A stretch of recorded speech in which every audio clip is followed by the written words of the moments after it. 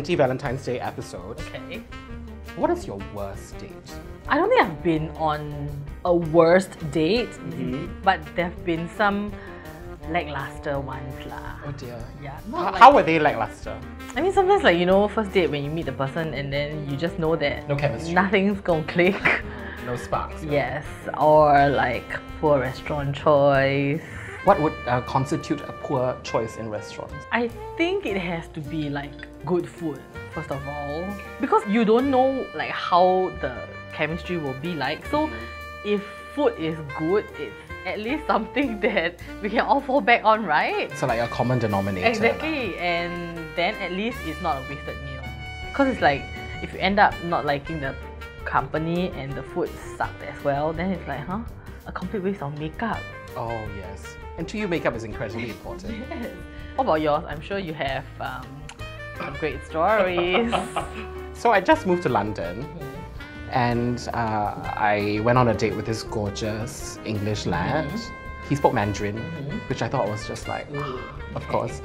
He took me to have Chinese takeout in Brixton, and it was my first time in South London.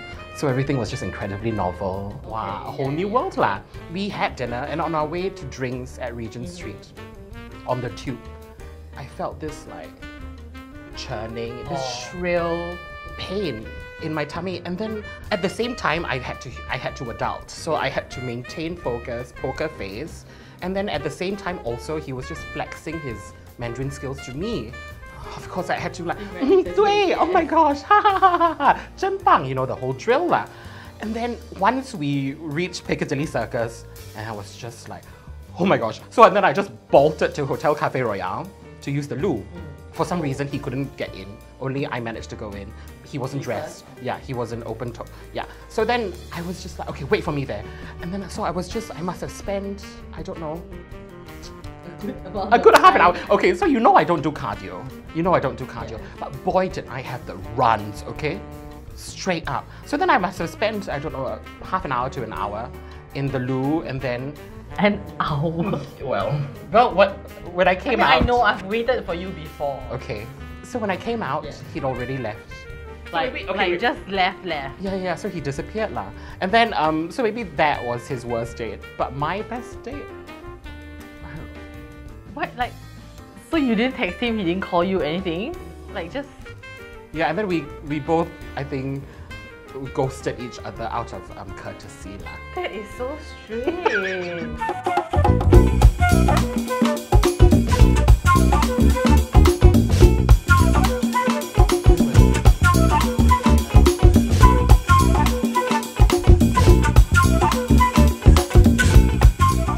you tell me what's your earliest memory of food?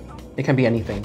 Cooking, cleaning, washing up. Mm-hmm. the first thing that came to my mind was my nanny, her cooking sesame oil chicken. Like, you know, those very old school dishes that like grandmothers will make. I loved eating that dish, and every time, like, I would wake up from afternoon nap, and the whole house would be of the awesome, like, aroma. That was my first. That's my first memory somehow. And then I think like home wise, I think when I was younger, when we used to have a helper, um, every Sunday, uh, she will cook this like home stir fried noodles. It's like you know those flat yellow noodles and thick hoon, and then it's just like tauge, egg, fish cake, Something prawns. fast lah. Yeah, Yeah, yeah, but it's, it's just very homey, and then like we will have homemade like uh, fried onions on top, and then chili. Oh my god! Sure. What is it about eating that you so enjoy? and you're the best person to ask about this. It's- It's a very integral part of life to me, cause Yes. like I can't just I'm not the person who can just eat to like fill my tummy. It always has to be something that I enjoy. Yeah, so I mean, like you live to eat or you eat to live. Definitely live to sure, eat. yeah. Yeah. I think like from day to day, it's just a way to enjoy life. Mm. You know, cause you're always we're always busy from one thing to another. But like food is whether you eat alone or with friends or family, it's always a good time to just be present lah in a mm. way. Yeah. Most of the time when it comes to meals, it's not about necessarily about the food, it's about the company that you eat it with. I'd rather eat alone than eat with people that I don't enjoy. Oh yeah, for sure. And you have no qualms eating alone. Mm, of course. Oh my god, we're so alone. so what is your go-to comfort food? My go-to comfort food definitely carrot cake, black, extra sweet sauce, extra chili, extra spring onions. What is it about carrot cake that you love so much? I think it just brings I brings back like childhood memories. When I was really young, we would go to this um, market in Sims Drive, and then we'll like it's just a family thing lah. We would just go and have that carrot cake and then the soy soya bean milk. I've just always liked black carrot cake, like the savory and sweet mix is like I think it's just defined my palate. wow. Okay. yeah. What about you? I think my go-to comfort food is like a very warm, gratifying like cheese toastie. I see. Yeah, I remember very vividly having after school, like for tea, I would have like a very just an unfast cheese toastie. I would have always two slices of cheese. When back then when you knew portion control lah. So then, yeah, I would have two slices of cheese and then um, sandwich between two white bread. Love white bread. Wow. And then I would just have it as a snack, and then as I was watching cartoons or something. Now, as I grow older, I think my, my love for cheese, cheese toasties- toast but like truffle cheese lah. I was gonna say, well, now as I grow older, I think my, my love for cheese toasties, I think it hasn't changed, but I eat it with like sriracha or like other kinds of relishes or condiments lah.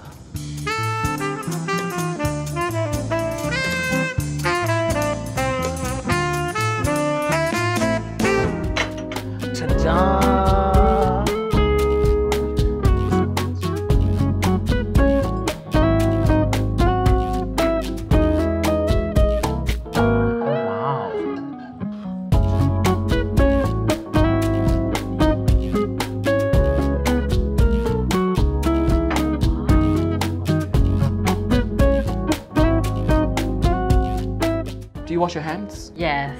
We live in very trying times now. huh? Yes. Hygiene is of the utmost importance. Yes. Thank you. Brought to you by Ministry of Health.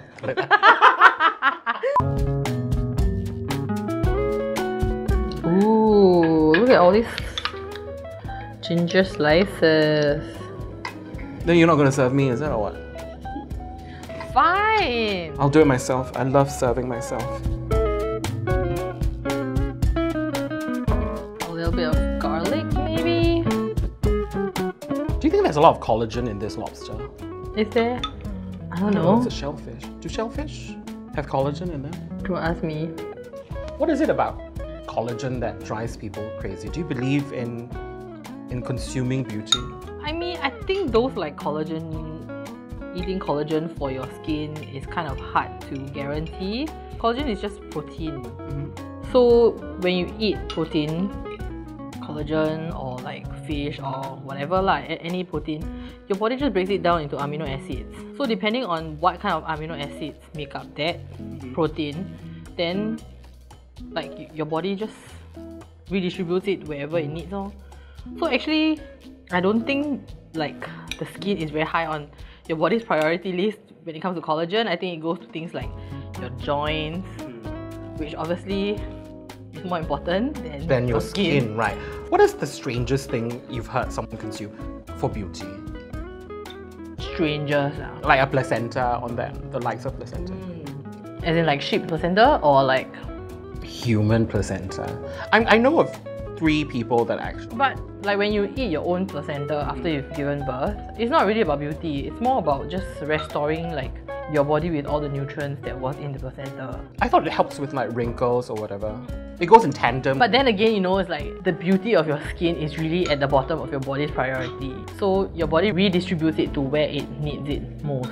So there's no guarantee that it goes to your skin. so what can you eat to help? I think generally speaking, most like people will tell you it's antioxidants. But then again, it's like antioxidants help your body in more ways than just the skin lah. So what kind of food have a lot of antioxidants? Blueberries, Berries are usually very high. In general, a Mm, yeah. antioxidants. Mm, I mean citrus fruits lah. Salmon, that orange color is uh, actually a very powerful antioxidant. Things that we all already know, just you know, whether how consciously we practice, that's another thing. I just want to let you know that when you were talking and I put it in my mouth, I burned it. You just switch off what I'm talking about, right?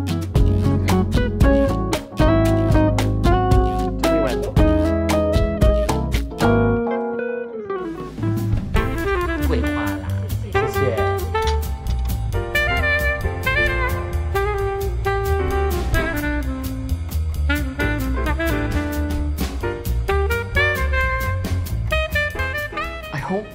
spend the day with each other next year. Okay, well, I explain my other friends now.